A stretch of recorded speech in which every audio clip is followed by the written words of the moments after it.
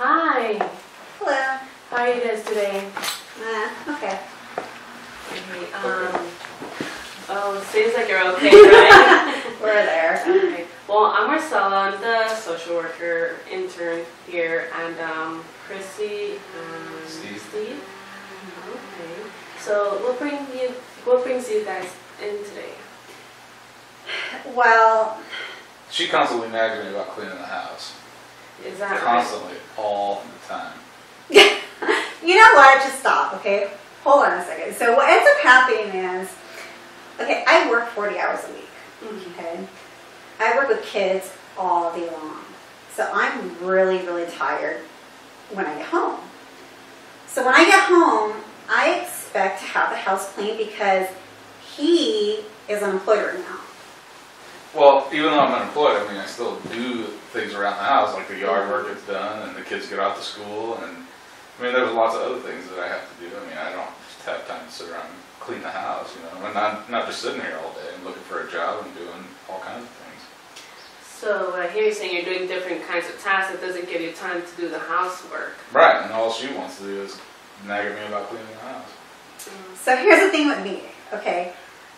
Yeah, I get it that he's, you know, driving the kids places and he does the yard work. Well, the yard work only it doesn't need to be done daily. You know, cut the freaking grass and then move on, right? It's once a week. It's not a big deal. Mm-hmm. But you know, he leaves cups everywhere. He leaves his shoes everywhere. And so when I get home from work, after working with kids all day long, I ex- I expect him to clean up his mess. I'm like cleaning up Well, after the a problem big with kid. that. Number one, the cups, I drink out of those, and she's constantly taking them and putting them away, and I'm trying to still drink out of it. Like, I don't have to use a different cup every single time I have a drink. Like, I could use the same cup more than one time.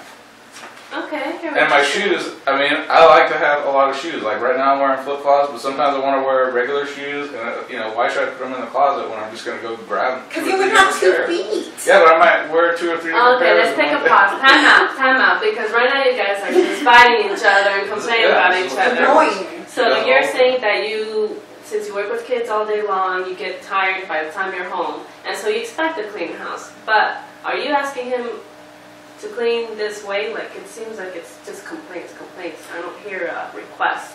Oh yeah. Oh so. Oh no. Let me. It seems let- that way to me too. well, let me tell you. Yeah, So. you. So no. So I would make him a list of things that need to be done.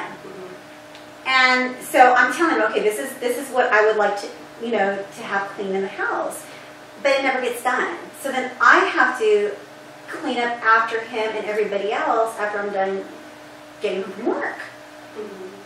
But I have other things too. I mean, it's not it's not like I'm just sitting around here. You know, I'm doing other things. Do you Just because I'm not getting her list done. Okay. Well, is there a way that you guys could um, come to consensus? Well, we tried. That's why we're here. Well, we did agree with coming here, so that's a good thing. Yes, that's a positive. Yeah, because we know that there's a problem here with our communication. Mhm. So that's as far as we got. Okay, so is there a way instead of going you, you don't do this, you don't do that, you could use your I stance, I would like this. Maybe you try a different approach. Okay, so I would like you to get off your ass and clean up. Okay, now that's not how now I would like you to get off your ass. Obviously, that's going to aggravate him. Okay. Right? Yeah. so, I mean, but- but this is how it is every day. I mean, this is just how she is. Yeah, I am. I'm very frustrated. I'm very frustrated that the house is not being cleaned. Well, yeah, I'm frustrated about things too. Like I have a lot of other stuff to do besides cleaning the house, and that's the only thing that you're focused on. Mm-hmm. What about if the toilet breaks, or if you know a sprinkler pipe breaks, or something like that, and you don't even know, and I'm already taking care of it, But and you're only focused on that cleaning the house.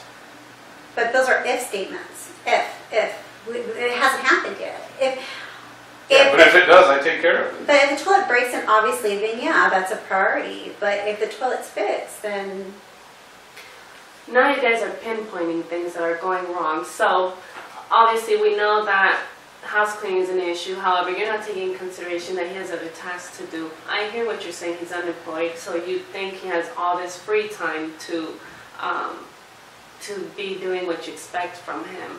However, is there a medium that you guys can take, like he can do some things and you, um, to sort of satisfy you halfway, meet you halfway? Well, I don't know. Would it, could we come into an agreement where, where, I don't know, there's some things that I would like to be done in the house, would you be willing to do those? Well, of course. I would be, will- I be, I would be willing to do some things, but you have to realize that I can't always do every single thing depending on how my day goes. Okay. So that's a plan? Okay, yeah, we, I can maybe write down some things that I would really appreciate if you could do, and if you don't get to them, then you don't get to them. And then we do agree that you can try to ask them nicely, not get your ass getting. Yes, it's very demanding, it's like that, yeah, exactly. Because I'm very frustrated. I hear what you're saying, however, it's not his fault you come back home frustrated. That's what I keep telling her, it's not my fault that you're frustrated, that you feel like that, it's not my fault. So, however, that's another issue we can address in a different session, your work stress. However, now we are in a consensus that he'll meet you halfway and then you'll be considerate of his desires too. hmm I think I can do that. Good, it's about time. Oh, shut up.